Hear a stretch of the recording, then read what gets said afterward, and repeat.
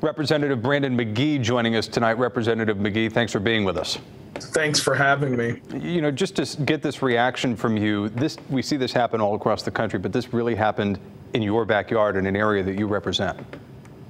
Yeah, you know, one of the things that I'll start off by saying is we will not tolerate bigotry or racism uh, in the town of Windsor, and for that matter, here in the state of Connecticut.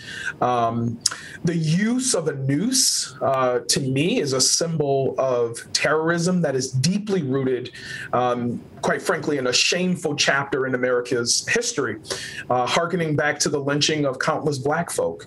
Uh, and, and so this coward act or cowardly act um, I believe is intended to intimidate people based on their race, and and and no one should be subjected uh, to it.